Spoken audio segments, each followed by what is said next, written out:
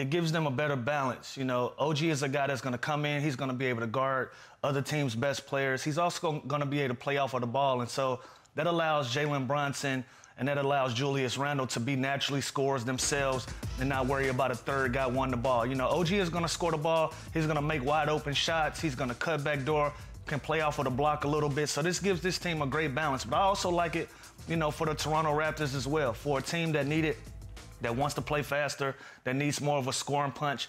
You know, they got two guys that can put the ball in the hole. So this gives Immanuel Quickley an opportunity to shine, to come out of that six man role um, and be a starting lead guard for a team. So this is going to be interesting on both sides. I don't know if this gets the Knicks over the hump, but it definitely gives them an opportunity to play at a better clip than they have been.